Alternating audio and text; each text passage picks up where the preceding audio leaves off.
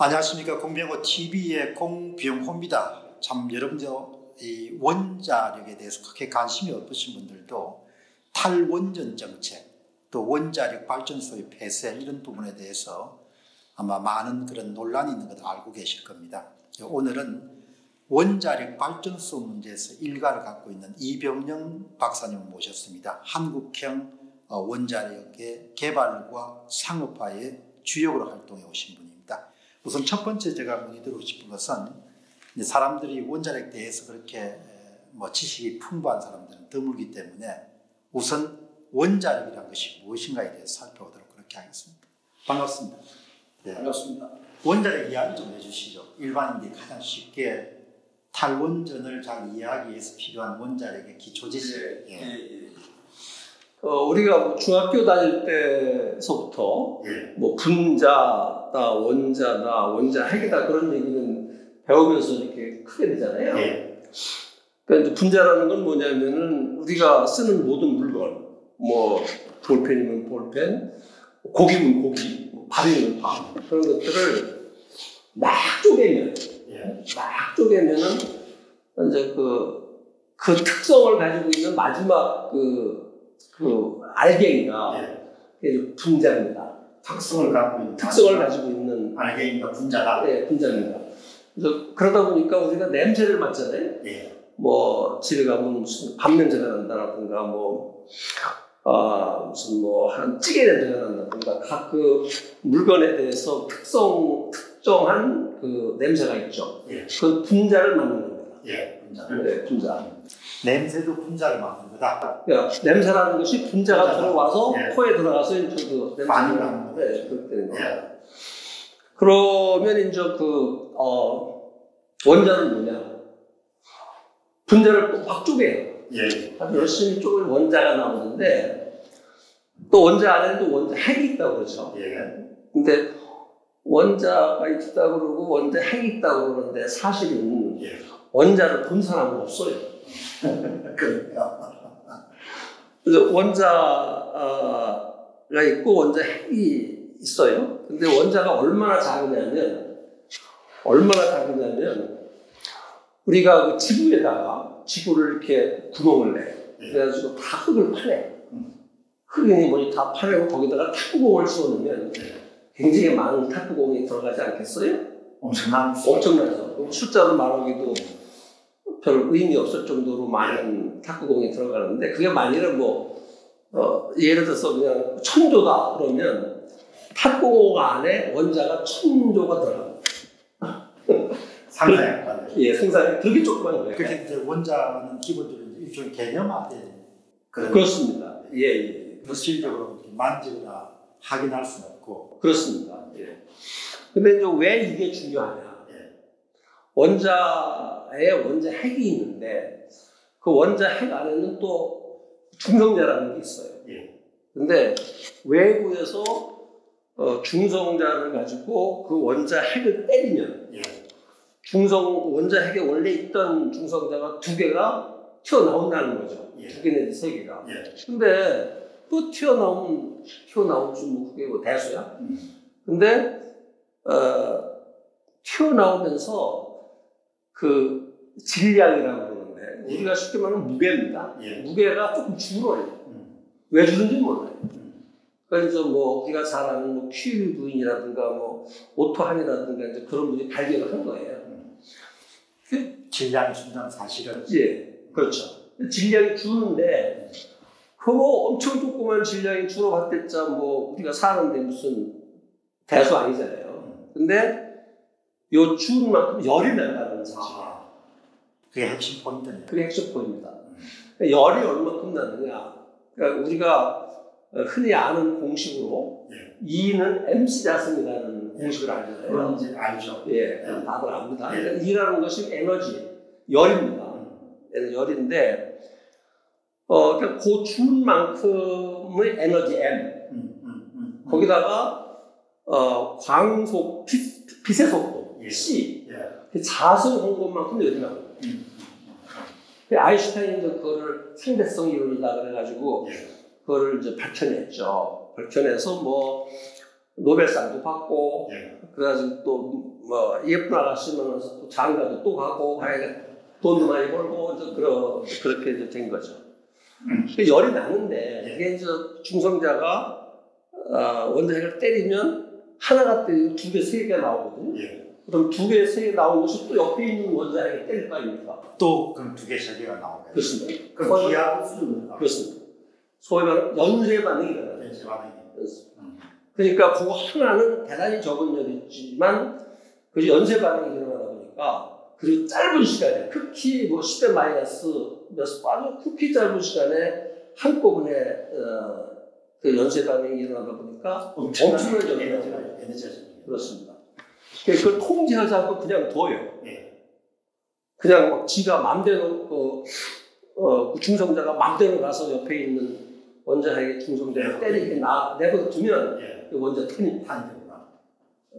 그거를 제거하면은 원자력 발전소가 원자 발전소야 돼. 그렇습니다. 그러니까 뭐 거의 사촌간이 어, 그- 그렇죠. 근데 천천히 때리면은 원 그냥 통제하는 게 통제하면 관리하면은 원자력 발전소가 되고 되는 거고 내버려 두면 원자 터지게 되는 거예요.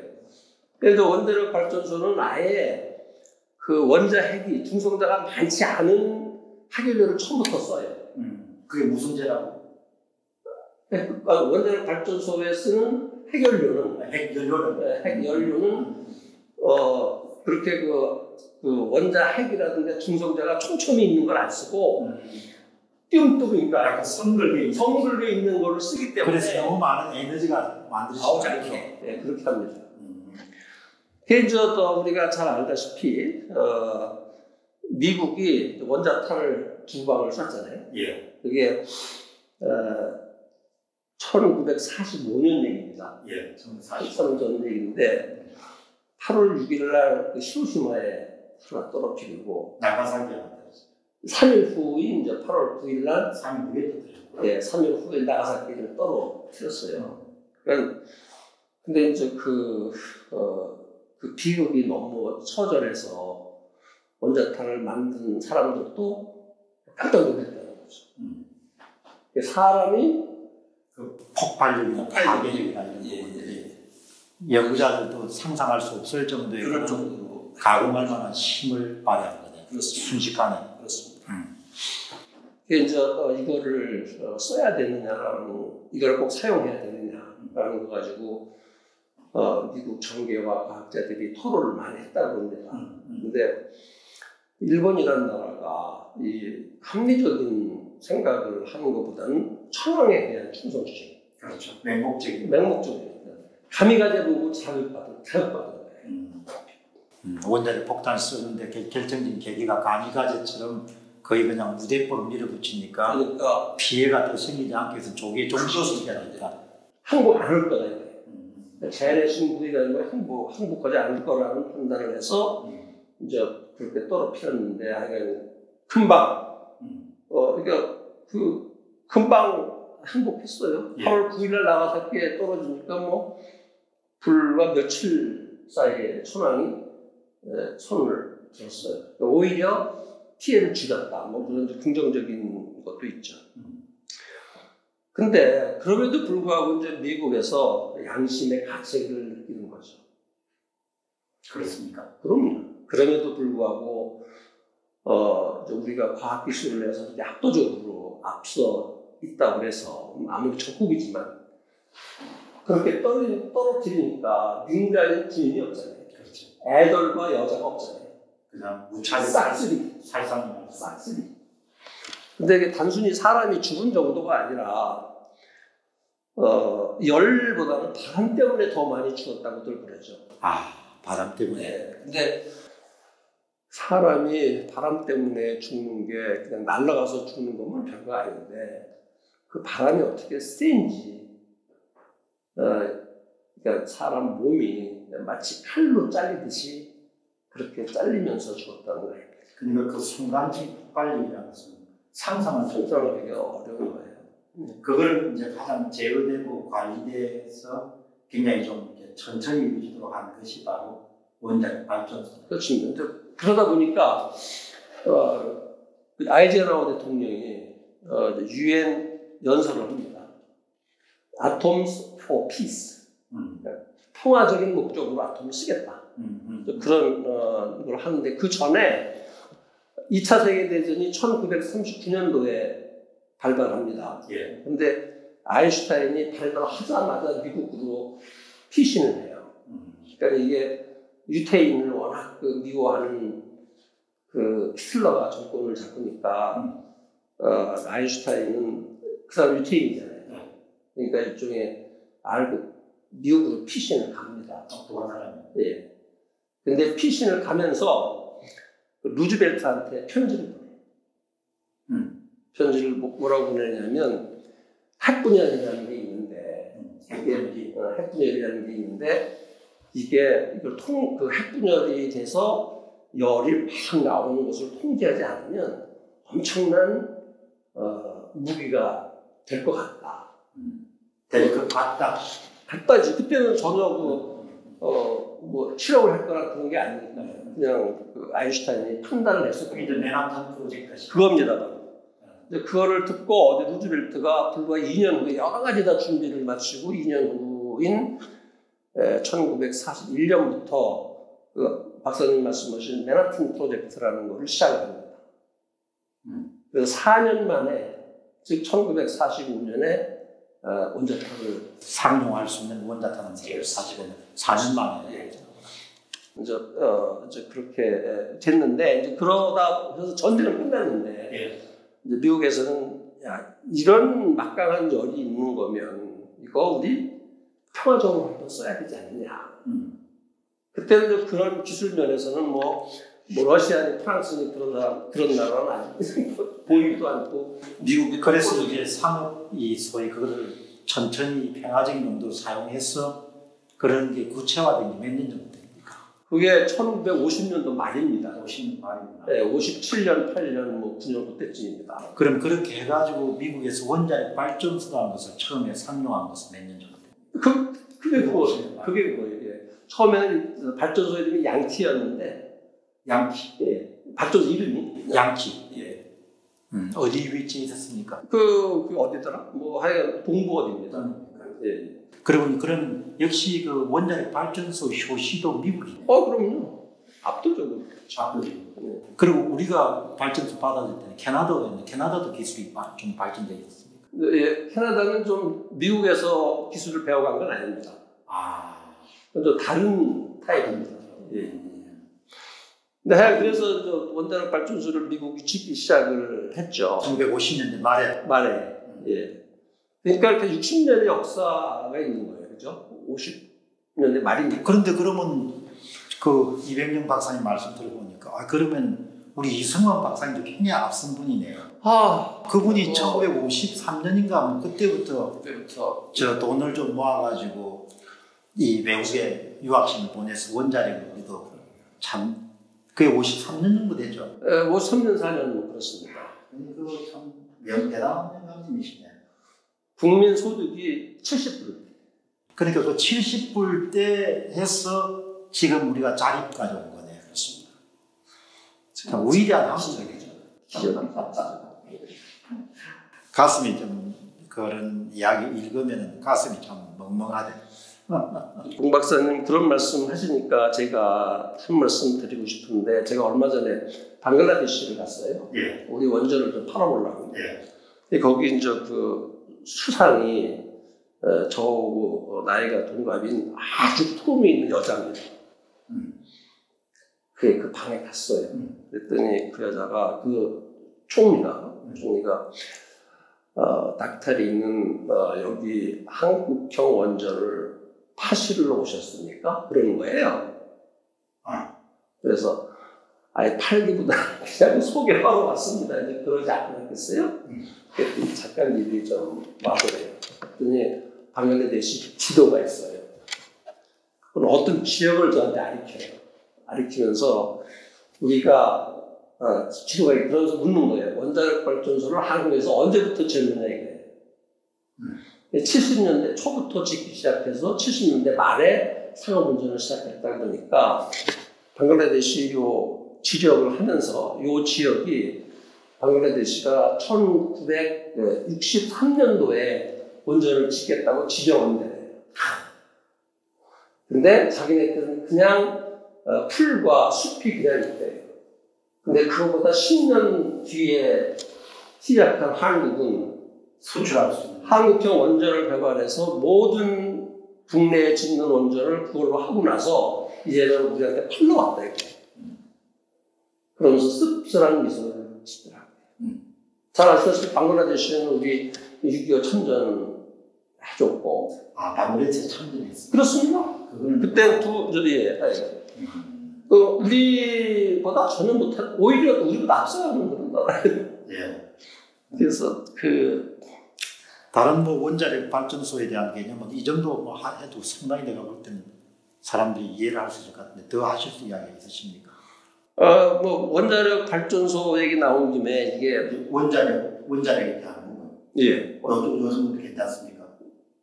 원자력 발전소도 다음에.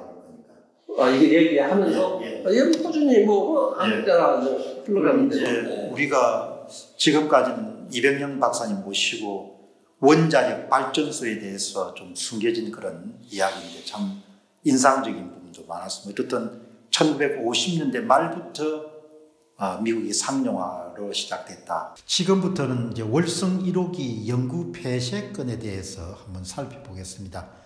정말 월성 1호기는 앞으로도 고쳐가면서 더 오래오래 사용할 수 있는 그런 원자력 발전소인데 그거를 원자력 안전위원회에서 임의로 그렇게 결정을 폐쇄 결정을 해가지고 논란이 많습니다. 오늘 솔직한 이야기를 한번 이병영 박사님하고 나눠보도록 하겠습니다. 제가 이제 방송에서도 월성 1호기를 한번 다뤘는데 그때 보니까 저는 뭐 이제 경작을 했으니까 경작자 딱 시각으로 보니까 아 이거는 시장에서 결정되는 가격이 아니고 가동률도 운영한 사람 중에 결정할 수 있고 판매 단가도 운영한 사람도 결정할 수 있는데 가동률 떨어뜨리고 판매 단가 높이고 해버리면 당연히 재산성이 안 맞는데 재산성이 안 맞도록 해가지고 그냥 원래의 정부 목표대로 그냥 통과시키는 것이 이 사람들 다음에 정권 바뀌면 다 배임죄로 다 걸릴 사람들이다. 그런 생각이 딱 들더라고요. 근데 저는 그 내부 자료를 누가 제공을 해가지고 그걸 가지고 이제 이야기를 했는데 어떻든 월성 1호기 참 문제 많죠. 가슴 아프죠. 왜 가슴이 아프냐면 번복 불가능합니까? 어, 가능하죠.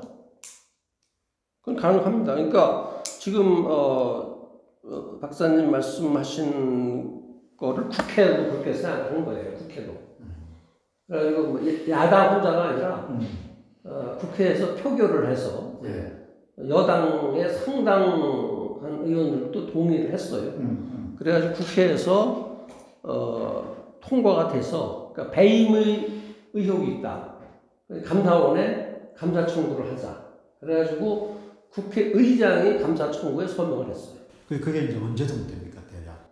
그게 작년 9월 30일이죠. 그럼 9월 30일인데 그게 감사원이 아직 보고 끝나지 않, 조사 끝나지 않았잖아. 2월 말에는 발표해야 돼요. 2월 말에 발표는 그 전에 원자력 안전위원회에서 왜 결정을 그렇게 했습니까? 감사원 결과가 나오면 그 결과를 보고 결정하면 되잖아요. 글쎄요. 그게 참 그러면 안 되는 거를 원하는 이유가 그렇게 했죠. 그리고 원안위에 내가 명단을 보니까 거기에 원자력을 아는 사람이 두 사람밖에 없더구먼요. 그 대한민국의 위원회라는 건난 대충 알긴 하는데 세상에 사람들이 그랬고 그 뭐 보니까 위원장이라는 사람들은 무슨 행정학과 교수더구먼요. 행정학 교수가 원자를 뭘 알겠어요. 내가 보고 참 한심한 제가 하도 답답해가지고 원안위의 의사 결정이 어떻게 나- 내려졌는지 보니까 위원장이 무슨 경북대학교 무슨 뭐 행정학과 교수고 다 그 사람 뭐 응? 맞는 사람들 다 꼽아가지고 놔놨겠죠.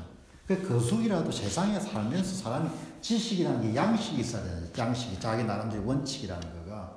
근데 그 국가의 그 중요한 대사를 7천억 이상을 돈을 투입하고 해체하는데 또 7천억, 8천억 이렇게 드는 그 사업을 야, 난 지식인들이라도 어떻게 이렇게 결정 내릴 수 있냐. 그런데 이게 보실 때는 그 저는 이렇게 그냥 결론을 정해놓고 그 결론을 만들어내기 위해서 숫자를 조작했다는 생각밖에 안 드는데 그 우리는 뭐 이렇게 문헌을 많이 보니까 보면 논리적 추론이라는 게 있지 않습니까? 항상. 그러니까 경제성이 없기 때문에 원자력 발전소를 폐쇄한 게 아니고 폐쇄를 해야 되기 때문에 경제성을 떨어뜨린 거예요. 그런 나쁜 짓을 한 놈들 어디 있냐 내 이야기가. 적어도는 아니지만. 바로 그게 국회의 생각입니다. 아 그게 국회 생각입니까? 그렇습니다. 그래서 그거를 감사해달라고 아까 말씀하신 말씀드린 대로 그런 배임 배임 아닙니까 그게? 아니 그러니까 내 이야기는 사람이 딴 거는 모르겠는데 뭐 사람이 좀 지식이 모자라고 이런 거는 그건 그나 두더라도 중요한 것은 정직해야 되잖아요.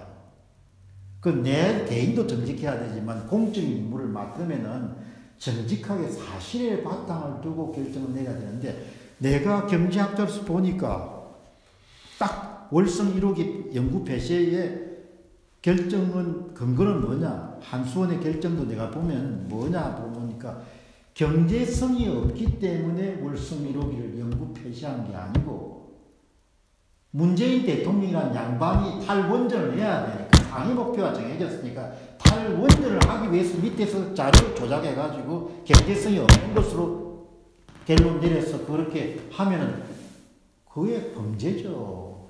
그 제 의견에 어떻게 생각합니까? 아니 이게 오늘 내가 그 오늘 토론을 네. 그래야 되는데 어떻게 좀 죄송합니다. 제가. 아닙니다. 어, 아닙니다. 그러니까 어, 다시 말씀드리지만 어, 저의 의견도 의견이지만 국회가 공식으로 그렇게 생각을 해서 제가 한 이야기야. 그대로 탈원전 정책의 목표를 달성하기 위해서 인위적으로 경제성을 낮춘 의혹이 있다. 그래서 감사원에서 해라 이렇게 나옵니다. 그러니까 탈원전 정책을 어, 이렇게 서포트하기 위해서 했다라는 그런 말이 어, 감사 청구서에 들어가 있는지는 제가 확인 못했어요. 음. 다만 그 한수원이 배임을 했다라고 주장하는 게 지금 말씀대로 어, 가동률을 어, 고의적으로 낮추고 음. 그다음에 판매 단가를 오히려 판매 단가를 오르고 그래서 억지로 경제성이 안 맞는 만드는 그런 배임을 한 게 아니냐. 음, 음. 그런 의혹이 든다 그래가지고 국회에서 여야 의원들이 표결을 거쳐서 어 그게 이건 감사해야 된다 그래가지고 어 국회에서 국회 의장용으로 대단히 무거운 감사 청구죠. 예, 그 감사 청구를 했는데 그게 원래 어 9월 30일이니까 이제 3개월인 12월 말에 감사원이 발표를 해야 되는데 무슨 이유인지 2개월 어 연장을 했어요. 그 감사는 뭐 감사가 또 제대로 이루어질 수 있겠습니까? 나는 뭐 요즘에 나라 하는 거 보면은 음, 울산 선거도 조작하는 판인데 뭐 감사원 보고 선 그런 거 나는 그왜또 2개월로 줬다고 합니까? 그건 뭐, 그 뭐, 이유를 구체적으로 얘기하지는 않았어요. 그런데 기본적으로 월성 1호기의 경제성 평가라는 것은 뭐 한 한 달도 안 걸릴 정도로 간단한 일이거든요. 근데 그거를 12월에 발표해야 될 것도 왜 2월에 발표하는지 그건 난 참 이해가 잘 안 가네요. 아유, 이해 안 가죠. 그런데 그 월성 1호기라는 것이 굉장히 중요한 게 그 다음에 또 계속적으로 이제 그 저 연장 문제가 거론되는 게 몇 기나 정도 됩니까 우리나라에? 계속 나오겠죠. 왜 그러냐면, 어, 미국도 처음에는 원자력 발전소의 수명을 40년으로 봤습니다. 그랬는데 40년 쓰고 나니까 멀쩡한 거예요. 그래서 20년을 저 늘려가지고 60년으로 만들었잖아요. 근데 60년 쓰고 나니까 또 멀쩡한 거예요. 그래서 80년입니다, 지금은. 말로만 이렇게 80년 한대 뭐 이런 것이 아니라 어, 미국 실질적으로 규제기관인 NRC가 신청한 그 발전소 하나를 80년 돌려라고 승인을 해버렸어요. 월성 1호기가 이번에 연구 폐쇄될 때 몇 년 돌린 겁니까? 어, 20몇 년 이게 돌린 25년 25년 돌린 그런 음, 시설을 그냥 폐쇄하게 결정한 거예요. 그런 거죠. 근데 이제 수명 자체에 대해서는 그 이제 월성 1호 중수용하고 이 그 아까 말씀드린 한국형 원전 가하고는 좀 다릅니다. 음. 그거를 산술적으로 비교할 수는 없는데 하여간 어 30년 돌리는 그, 어 40년, 그러니까 40, 30년 원래였는데 40년 돌리는 것이 맞다 그래가지고 어, 돈 많이 들여서 뭐 한 7천억 이상 뭐, 뭐 한 한, 뭐 6천억, 7천억 들여서 어, 새로 이렇게 만들어 놓고 나서 그거를 아직 그 정한 수명이 안 됐는데 그냥 아까 말씀드린 그런 조작했을지도 모르는 그런 걸로 어, 폐쇄를 하는데 그 원안위에서 그걸 또 아무 이유 없이 받아서 영구 처분 승인을 한 것은 정말로 이해할 수 없죠. 그때는 원안에서 7대 2가 나온 겁니까? 어, 2대 6. 2가 반대고 예. 6이 찬성이고 예, 예, 그렇습니다. 참. 그 원래 월성 1호기는 캐나다가 만들었어요. 예, 그렇습니다. 그, 그 30년, 예, 캐나다, 그, 그럼 월성 1호 캐나다가 만들었으면 캐나다 사람들 딱 정해진 그런 규정에 따라서 엄청나게 야물게 만들었을 거 아니에요. 뭐, 그런, 그 굉장히 좋은 원전입니다. 그리고 아시다시피, 그, 월성 원전은, 어, 우리의 앞으로의 방위에 크게 기여를 할 그런 원자력 발전소입니다. 그럼 중수형. 중수형이라고 이제 부르는데, 아까 말씀 안 드리니까 그럼 중수형이 갖고 있는 특징이 뭡니까? 중수형 발전소. 어, 특징이 뭐냐면, 그게 그 가동률이라든가 안전성도 대단히 높지만, 가장 눈에 띄는 것은 그 분열해서 나온 해결료가 어, 대단히 간단하게 가서. 재처리를 해서 어, 원폭의 원료인 에, 플루토늄을 빼낼 수 있습니다. 그런 게 우리나라에서 갖고 있는 중수형 그런 발전소가 어디가 또 있습니까? 뭐 세계적으로 아니 우리나라에 갖고 있는 월성에 네개 있는 게 다예요. 전부입니까? 예. 그 그래서 거기 어, 월성에 가면 제 계산으로는 3,200개인데 어떤 사람은 4,000개라고 그러는데 저희 계산으로는 3,200개의 원폭을 만들 수 있는 그런 그 플루토늄이 쌓여 있죠. 이해가 안 가는 우리는 어, 뭐 이런 얘기는 좀 오늘 테마와는 다른 얘기인데 우리를 둘러싸고 있는 일본, 중국, 러시아가 다 우리하고 그렇게 친한 사이들이 아니었잖아요. 역사적으로 우리를 침략하고 괴롭힌 그런 나라들이었는데 사실상 다 원전을 가지고 있거든요. 일본은 가지고 있질 않지만 사실상 가지고 있다고 봐야 됩니다. 왜냐하면 뭐 언제든지 언제든지 만들 수가 있으니까. 근데 뭐 우리 에, 과학기술 하는 사람들끼리 에, 일본 정부에서 일본 원자력계한테 원자탄 만드십시오라고 그러면 얼마 만에 만들까? 이런 얘기들을 주고 받는데 얼마? 아, 사람마다 달라요. 뚜렷한 근거가 있는 건 아닌데 에, 저는 많이 봐야 2, 3개월이라고 봅니다. 어떤 사람들은 두 주라고 말씀하는 분도 있는데 뭐 충분히 가능성이 근데 뭐 사실상 뭐 그 원자력 폭탄에 관한 그런 이론적 논문이나 이런 건 이미 다 공론화된 지식이고 어 그럼요. 그죠? 그러니까 뭐 그 보통 사람들 생각하는 훨씬 더 빠른 시간 근데 그때 이제 필수적인 그 프로티늄이 있느냐 없느냐 문제네. 그걸 사올 수는 없으니까. 플루토늄 예. 어, 우리가 뭐 잔뜩 가지고 있는데 뭘 사와요? 아. 근데 그것도 중수 발전소 계속 돌리면 더 많이 개. 당연히 나오죠. 음. 그러니까 그거를 그 박정희 대통령이 이제 그거를 들여왔는데 그런 전략적 고려가 있었겠네요. 그러니까 그 양반이 뭐 그런 얘기는 하지 않았지만 워낙 우리를 둘러싼 그 지형학적인 면에서 우리가 너무나도 취약한 상태고 또 북한마저도 무기 가지고 있다 보니까 그런 전략적 사고를 하지 않았을까 이렇게 상상할 수 있죠. 지금까지는 이제 월성 1호기 폐쇄의 전후 이야기라는 부분을 두고 이병영 교수님하고 또 대화를 나눠봤습니다. 오늘은 이병영 박사님을 모시고 정말 한국이 갖고 있는 중요한 주력 상품 가운데 하나인 한국형 원전, 예, 막강한 경쟁력을 갖고 있는 한국형 원전의 현주소에 대한 부분을 이병영 박사님과 대화를 나눠보도록 하겠습니다. 다들 이렇게 한국형 원전이 대단한 경쟁력이 있다. 얼마 전 또 프랑스에서도 그런 뭐 아주 대리 그런 자료들이 나와가지고 예. 뭐 아주 압도적인 그런 경쟁력 우위를 갖고 있다 이런 이야기가 있는데 한번 좀 보통 사람들이 좀 쉽게 이해할 수 있도록 한번 설명해 주시죠. 예. 우리가 다 알다시피 이제 원자력 발전소라는 것은 어, 하여간 최고의 기술, 첨단 기술이 들어가고 그다음에 저그 그래서 아주 엄청난 그 양의 전력을 생산하는 그런 설비 아닙니까? 예. 근데 또 2009년도 저물어 가는 뭐 12월 27일 날 2009년 갑자기 에, 그, 그 이명박 정부가 UAE에 원전 수출을 했다고 발표를 했어요. 예. 이거는 전 세계를 진짜 경악하게 만들었습니다.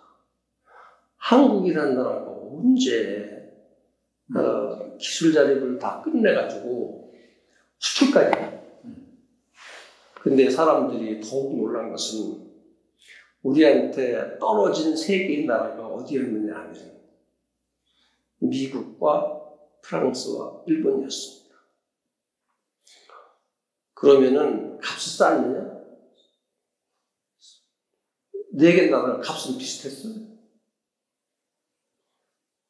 기술 가지고 그 당시에 그 뒤에 한국형 원전은 값이 엄청나게 싸지고 어, 미국, 프랑스는 값이 엄청나게 올라가지고 뭐 말도 못하게 값에 격차가 났지만 그 당시에는 큰 차이가 없었어요.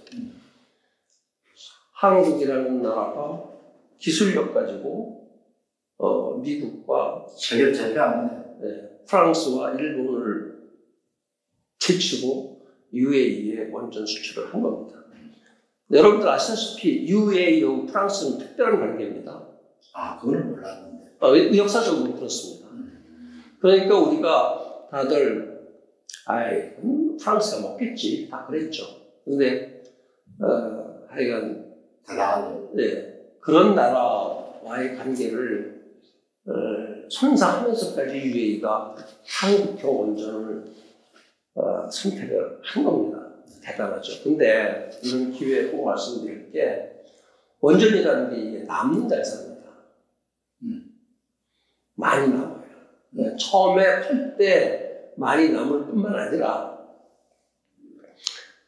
AS를 해줘야 아닙니까? 유지보수 위에서 유지 보수 해야 되는데 그게 그 처음에 팔 때의 그 남는 것보다 더 남는다는 거죠. 괜찮다는 괜찮다면서요. 뭐더 중요한다고 말씀드릴 수 있는 게 어떤 나라의 원전을 한번 사면 그렇게 많은 돈을 퍼주면서도 그 나라한테 아쉬운 관계가 됩니다. 우리가 처음에 그렇게 우리가 수십 년 동안 기술 없을 때 그렇게 당했죠. 어, 캐나다 이제 상상 을 미국 주로 이제 미국한테 그렇게 당했는데 예를 들면 섬유협 섬유협상을 해. 예전에는 우리가 미국한테 주로 파는 게뭐 바바리는 뭐 셀린 그런 거 있잖아요. 섬유협 섬유 수출 협상을 하는데 미국이 야 니들 너무 많이 수출을 해서 우리 섬유 산업이 죽어 음. 좀 줄여. 음. 우리는 그거 줄이면 실업자가 왕창 나오는데 못 줄여. 좀 협상을 하잖아요. 예. 그러면 미국 사람들이 뭐라고 그러는지 압니까? 요새 그 해결료를 만드는 웨스팅하우스 공장에 어, 파업이 파업 기미가 있다라는 소식이 있다는 것을 쉬는 시간에 직급이 낮은 외교관이 우리의 직급이 낮은 외교관한테 던지시 던집니다. 헐리. 흘리는 거예요. 그거 보고 이제 뭐, 어, 나르는 정보 뭐 그런 표현을 쓰는데, 그러면 외교관들은 그런 얘기를 들으면 보고를 해야 됩니다. 그러면 어, 본부에서는, 아, 이 미국이 어, 이 해결료 가지고. 음. 그런 거를 눈치를 채는 거예요. 그래가지고, 이제 그 미국에 있는 뭐, 어, 중앙 정부, 뭐, 저, 그 하여 우리 정보원을 파견하기는 어, 원래 예, 있으니까 네. 예, 무한대 예, 대사관에 있는 사람들이 있으니까 해서 과연 웨스팅하우스 해결료 어, 공장에서 파업의 기미가 있는 게 파악해 봐라. 음. 그럼 전혀 없는 거예요. 음. 그러면 이 무기를 쓰는 거예요. 위협하고. 예.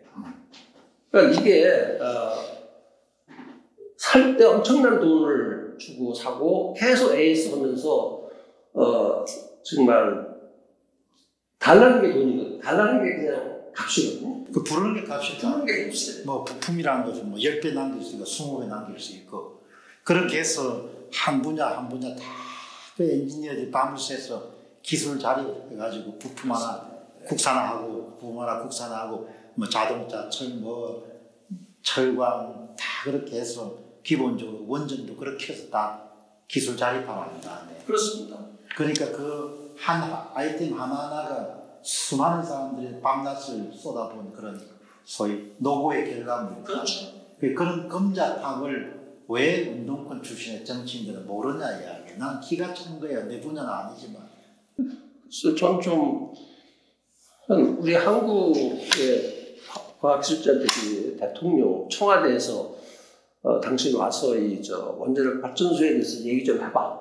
그럼 가지 않은 사람이 어디 있어요? 박 대통령이 분명히 그렇게 했겠죠. 아니 모든 모든 사람들이 모든 대통령이 다 그러지 않 모든 청와대가 다 그러죠. 안 그러는 사람이 어디 있어요? 모르면 배워야지. 예.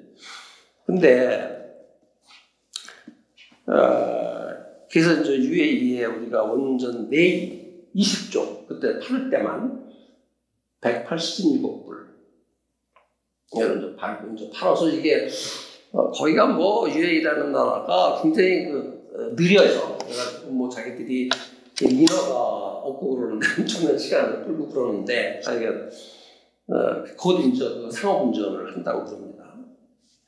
근데 이, 이, 그, 아베 아저씨, 헛발질 하는 얘기 하나 해드릴까요? 하시. 터키가, 터키가 어, 원전을 짓겠다고 그래서 이제 비딩을 하라고 이렇게 냈어요. 음. 그게 1913년도입니다. 음. 근데 이미 그때는 이렇고 저렇고 이런 이유로 해서 한국의 어, 원전 건설 값이 일본의 반 가까이 떨어진 상태였어요. 그거 정말 나중에도 기회에 있으면 말씀드리는데 그거 정말 기적입니다. 물건 값이 싸면은 뭐 20% 30% 많아야 50%가 싸지 어떻게 반값이 될 수가 있어요. 최고의 품질과 가동성을 그 최고의 안전성과 가동률을 가지고 있는 원전입니다. 근데 하여간 근데 어, 2013년도에 아베가 무리를 했어요. 아까 말씀드린 대로 원전을 한번 팔면 그산 나라가 판 나라한테 그런 그 아쉬운 관계가 되기 때문에 터키는 정치적으로 아주 묘한 나라입니다. 터키를 손에 잡으면 그 국제 정치적인 그 힘이 많이 생기는 나라입니다. 음, 좀 특별한 특별한 국력에 비해 가지고 힘이 세다. 그렇습니다. 그러니까 이 아베가 그때 어, 내 얘기인데 어, 그 30조에 에, 써서 땄어요. 근데 그게 일본의 형편으로는 30조에 안 되는 돈이었어요. 이미 그때는 음. 값이 많이 변화가 생겨가지고 투산이 딸 수 있는 돈이었어요. 음. 근데 아베가 그걸 따는 거 보고 깜짝 놀랐죠. 얼마나 정부가 보조를 많이 해주려고 저런 짓을 하나? 근데 2년 동안 이 일을 진행하지 않더니, 응? 않더니 취소해버렸어. 나 국제사회에서 그런 것도 다 있어요. 누가 그걸 먹었습니까? 아직까지 그러니까 그냥 어, 터키는 원전을 짓지 못하고 있는 상태예요. 많은 그 벌금을 물고 손해를 보고 그러면서 도저히. 예, 너무 그 말이 안 되는 값으로 따가지고 두산 우리 한국 먹지 못하게 하더라고. 이 한국형 원전의 그 수출 경쟁력은 정말 어, unbelievable입니다. 제가 그 제가 어, 한국형 원전 뭐 개발 상업화 책임자를 했지만 어, 신기합니다. 2014년도에 우리 국회에서 각 나라의 신형 원전 건설 단가를 발표합니다. 근데 이게 미국이 킬로와트당 640만 원이다. 음. 프랑스가 560만 원이다. 음. 한국은 231만 원이다. 대단하네. 이렇게 발표를 해버려요. 이렇게 보면은 한국이 미국의 3분의 1, 음. 프랑스의 반도 안 돼요. 음. 근데 어, 저는 어, 그쪽 분야를 어, 아는 사람인데도 불구하고 이건 말이 안 된다. 음. 이렇게 생각을 했어요. 근데 그러고 있다 4년 후에 사우디가 우리가 원전을 칠 테니 각들 그 돈을 써내시오. 그랬어요. 그래가지고 미국, 프랑스, 한국, 근데 그 일본은 이 사람들이 뺐더라고요. 왜 그런지 모르겠는데 미국, 프랑스, 한국, 중국까지 포함시켜서 4개 나라에게 어, 그 얼마면 질 수 있는가 그런 값을 내라고 했어요. 근데 한 몇 개월, 뭐 한 1년쯤 있다가 블룸버그가 그 값을 어, 알아가지고 발표해버렸어요. 음. 근데 그때 그 발표한 값을 제가 말씀을 드려볼까요? 그럼요. 미국이, 미국이 킬로와트당 11,638불, 음. 프랑스가 킬로와트당 7,809불, 음. 중국마저도 킬로와트당 4,364불. 한국이 얼마인지 압니까? 킬로와트당 3,718불. 그러니까 그 4년 전에 국회 예산처가 분석한 거고 비슷해. 비슷하네. 중국보다도 우리가 싸요. 중국 원전은 엉터리거든. 다른 것도 엉터리지만 그것도 역시 엉터리거든. 그러니까 이게 2018년도에 그렇게 했다고 블룸버그가 사실 변덕가는 비밀 아닙니까? 그럼 근데 블룸버그가 어떻게 해서 발표를 했는데 취재를 해서 보도했는데 지금 2년 가까이 지나도록 사우디가 틀렸다는 말이 없거든요. 음. 그럼 이 사실이야. 우리 한국형 원전은요, 뭐 최고의 원전이라는 것이 그 어, 가동 실적뿐만 아니라 최근에 미국에서 설계 인증이라는 걸 했어요. 예. 설계 인증은 뭐냐면은 아, 니네 원전의 그는 어, 설계상 안전하다 라는 것을 인증해 주는 건데 미국 규제기관이 자기네 나라 원전 말고 외국 원전에 대해서 설계 인증을 해준 것은 한국이 유일합니다. 그러니까 이건 외국한테 안 해주지면 다 경쟁자인데 그럼요. 자기네들이 이거 해서 이익될 게 없잖아요. 근데 한국 거는 너무, 너무 완벽하니까 그걸 차마 안 해준 명분이 없는 거예요. 그런 원전입니다. 그런 원전인데 값이 에, 미국의 3분의 1, 프랑스 좋은 산업을 참 2분의 1. 근데 이거를 저 같은 사람이 보면 애들만으로 미쳐 팔딱 뛰는 것이죠. 그러게 말입니다. 그 좋은 산업 하나를 70년 걸려서 만들어낸 그런 원전 산업은 여전히 세계에서도 압도적인 그런 경쟁력을 갖고 있는데 문 대통령이 그 추진하고 있는 탈원전 정책으로 말미암아서 원전 생태계가 완전히 파괴되고 있기 때문에 참 고민이 많습니다. 오늘 이병영 박사님하고 아주 생산적인 그런 대화를 나누었습니다. 지금부터는 정말 우리 사회에서 아주 핫한 그런 주제이고 우리 에너지의 미래에서도 아주 중요한 그런 몫을 차지하고 있는 정말 이해할 수 없는 문재인 정부의 탈원전 정책 이 부분을 한번 이병영 박사님 모시고 대화를 나눠보도록 하겠습니다.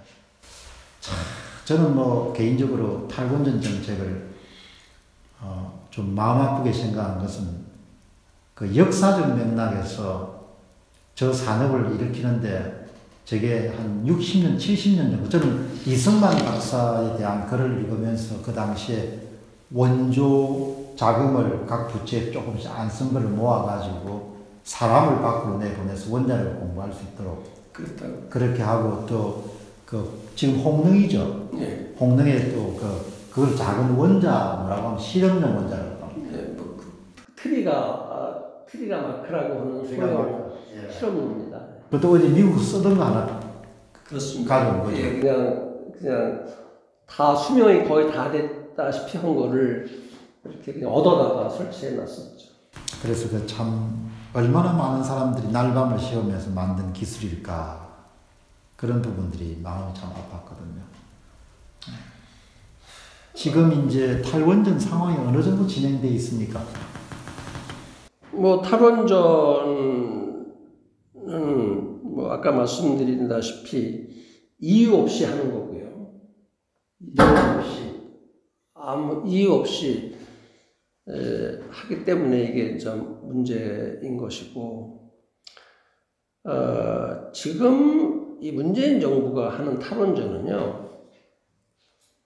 어, 문재인 정부가 어, 끝나면 저는 이것도 없어질 거라고 봅니다. 다음 정권이 보수 정권이 들어서면 그건 말할 것도 없고 진보 정권이 들어서도 끝납니다. 왜 그런지 아세요? 우리가 지금까지 경험한 진보 정권이 두 번입니다. 김대중 정권과 노무현 정권인데 잘 아시다시피 예, 김대중 대통령이나 노무현 대통령은 대통령 되기 전에 강력한 탈원전론자들이었습니다.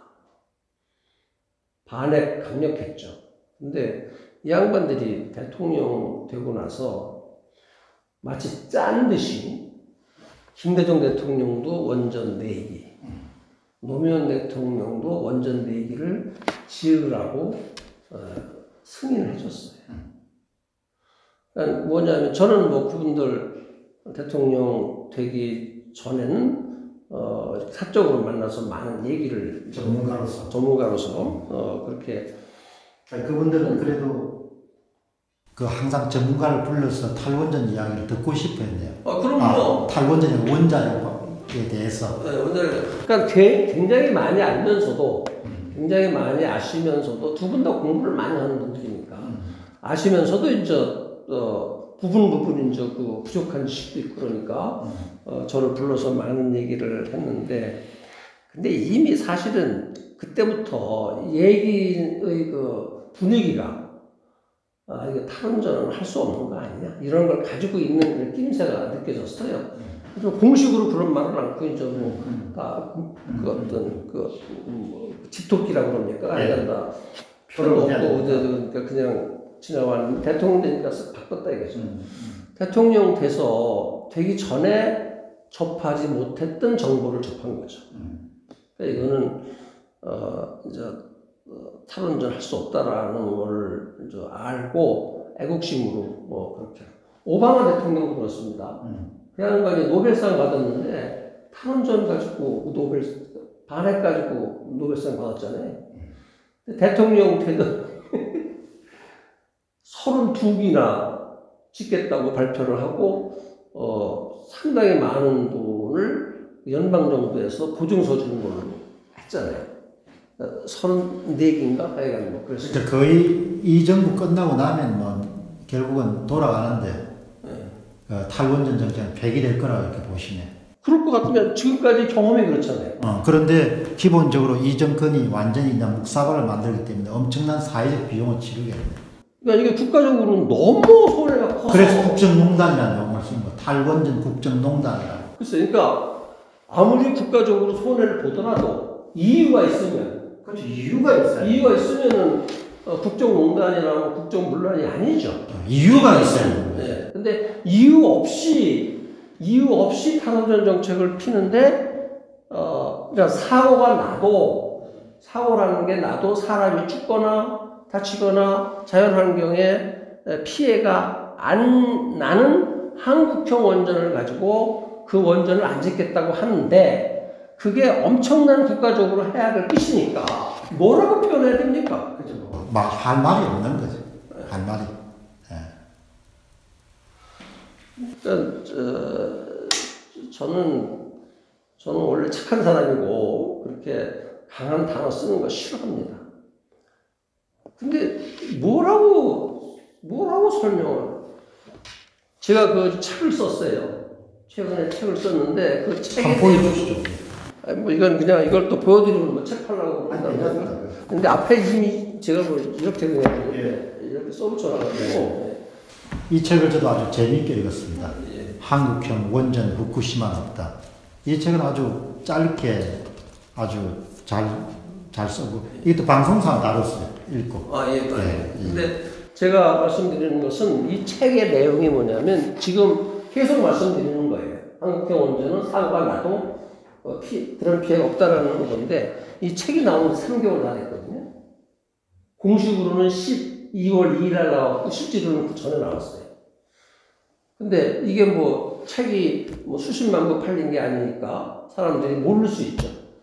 근데 어 12월 9일 날 어, 최고식이 만난 사람들이라는 그 교수님과의 거기에서 크게 나오는 것뿐만 아니라 음. 그 후로 여러 매스컴에서 이 책에 대한 소개가 있었거든요. 왜 그럼 사람들이 기본적으로 부당하다고 느끼니까 탈원전 정책은 부당한 정책이라 느꼈는데 전문가가 자기가 쓴 책을 보니까 자기 이야기가 맞거든. 글쎄 말이에요. 근데 제가 이제 주장하고 싶은 건 뭐냐면 그러면 이거는 뭐 청와대에서 이런 정책을 위반하는 사람들이나 탈원전을 해야 된다고 주장하는 사람들이 제가 이런 책을 썼는지 모를 리가 없다는 얘기예요. 그렇지.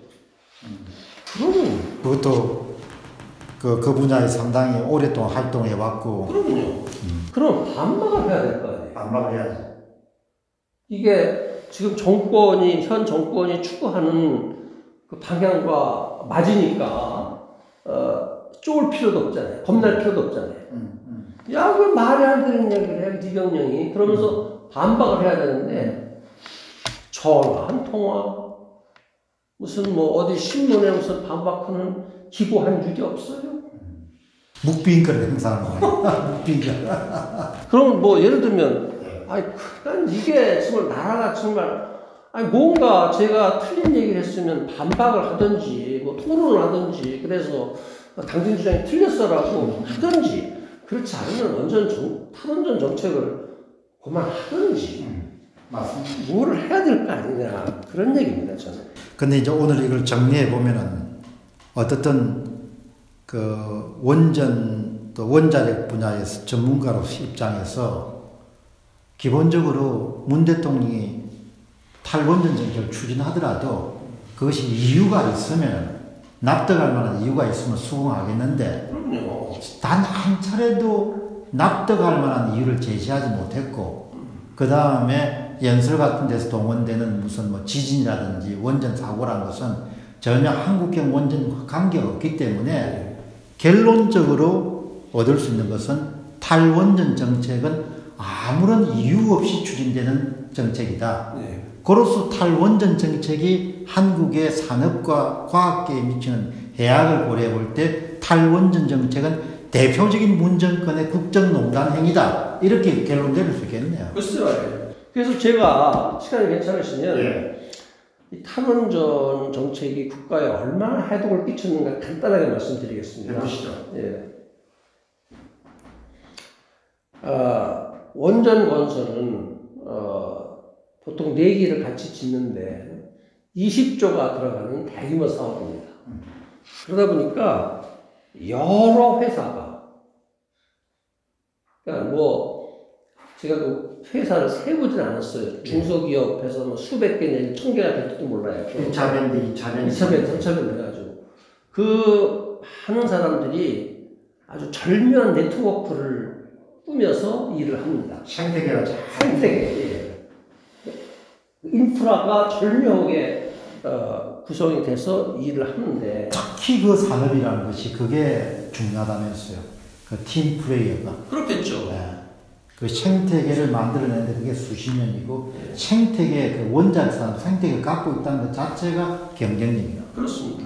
그래서 싸게 들어갈 수 있는. 그렇습니다.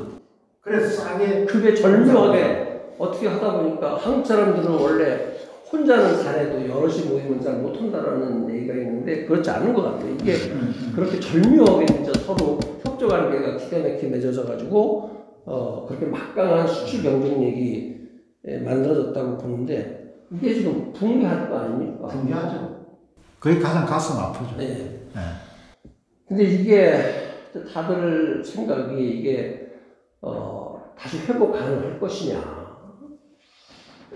하는 거에 대해서 이제 정기하고 저한테 전화를 걸어서 어, 다시 회복시킬 수 있는 방안을 꾸준히 연구를 해라 그런 얘기를 저한테 하는 분이 계시죠. 생태계 붕괴, 산업 생태계 붕괴, 원자력 산업 생태계 붕괴 하나, 하나 하고 그 다음에 또 이거 좀 많습니다. 거기 지금 제가 그냥 특히 그저 그 이인재 의원 계시잖아요. 전에 예, 예. 대통령 그 양반이 저한테 전화를 자주 해요. 해가지고 부디 어, 이원 탈원전 정책이 어, 이제 중지됐을 때 어떻게 회복시킬까 방안을 좀 연구하고 산업 생태계의 붕괴라는 부분이 하나가 있고 예.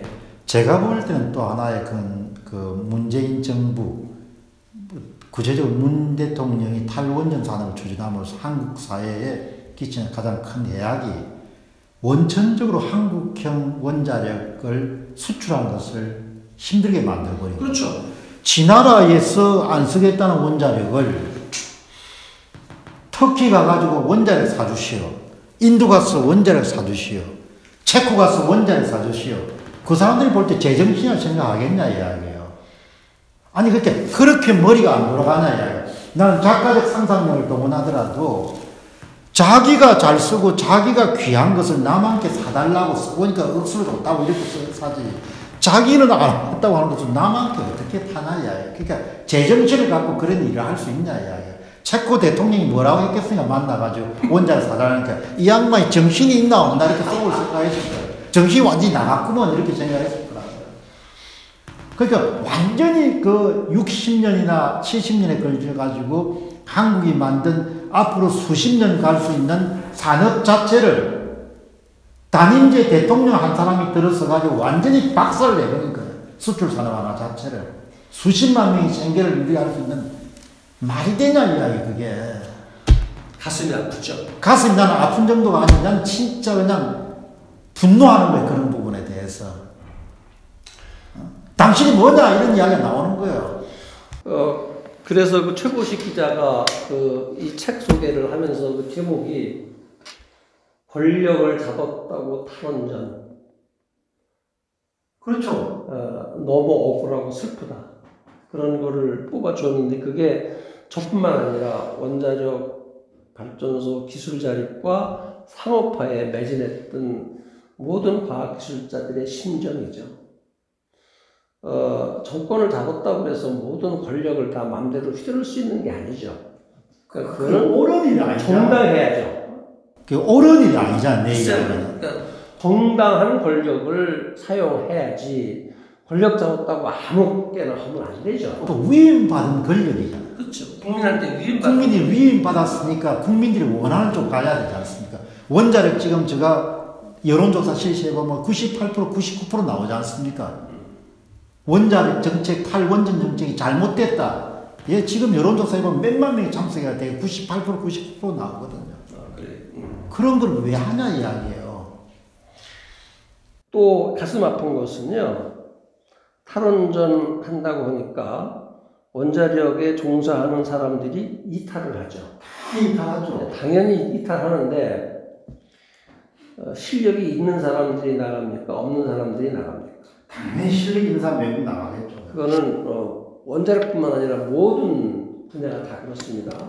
기우뚱 기우뚱 해지고 이 분야가 별 볼 일 없어진다고 생각하면 예민하게 실력 있는 사람들부터 나갑니다. 자기가 먹고 살아야 되니까. 그럼 근데 원자력 발전소가 다 없어지는 것이 아니라 원자력 발전소를 돌아가고 있어요. 지금도 24기가 돌아가고 있어요. 실력이 그 사람들보다는 상대적으로 떨어지는 사람들이 원자력에서 근무를 하고 원전은 돌아간다 이거예요.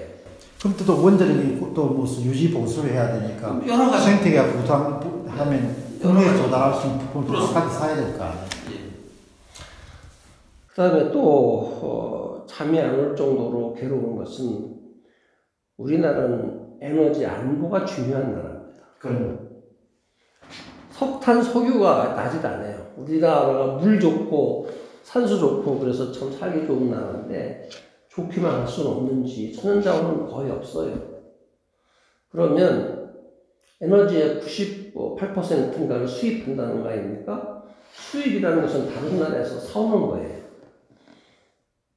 팔지 않으면 못 사오죠. 근데 이미 우리는 두 번의 오일 쇼크를 경험을 했어요. 그렇잖아요. 그것이 뭐 어, 나이가 어린 분들은 잘 이해할 모를지 모르지만 1973년부터 78년까지 1차 석유 파동을 겪었습니다. 그때 어, 2불 59전 하던 어, 석유값이 11불 60 배럴당. 배럴당 그렇게 5배가 뛰었고요. 2차 석유 파동도 겪었어요. 1978년서부터 1981년까지인데 30불이 됐습니다. 어, 근데 저는 이 탈원전 정책을 보면서 석유, 이, 저, 에너지 값이 오르는 걸 걱정하지 않습니다. 없어지는 걸 걱정. 저는 오르는 것도 걱정하죠. 아, 물론 여러분 그렇지만, 한국이 지금 수출하는 산업이라는 거가 다 에너지 과소비 업종인데 소비 업종인데 그렇게 이제 해서 산업용 음? 전기료를 올려놓으면은 임금이 비싸져 조세 많아 준조세 많아 음? 국가 전기료 경쟁력이 비싸. 떨어지죠. 당연히 경쟁 못하죠. 예. 근데 저는, 어, 오르는 것 정도는 그렇게 우리가 살아갈 수 있잖아요. 가난해지기 없어지지 않으니까. 네, 가난해지겠지만 살아갈 수 있는데 우리의 이 상황은 국제 관계가 어떻게 어떻게 되면 에너지가 없어질 수 있는. 그렇죠. 지금 당장 남중국해를 가지고 항해 자유해서 그냥 차단시키게 되면 그냥 에너지 수송도 같은 거에 문제가 바로 발생할 수 있지 않습니까?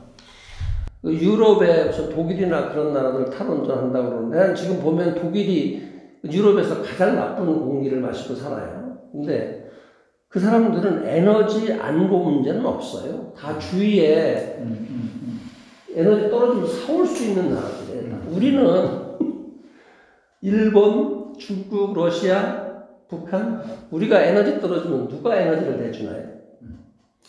지정학적으로 그렇게 적당히 에너지 문제를 다룰 나라가 아닙니다. 음. 이것은 국민 모두의 생명을 걸고 그야말로 energy security를 철저하게 준비하고 그런 경우에 우리가 석유를 사올 수 없는 경우가 얼마든지 올 수 있으니까 그런 경우에 어떻게 해야 우리 국민들이 살아가느냐를 진짜 아, 고민해야 되고 정책을 피해야 될 나라입니다. 그런데 어, 세계 최고의 에, 원자력 발전소를 가지고 있는데 그 이유 없이 탈원전을 한다는 것은 음, 그러면 안 되죠.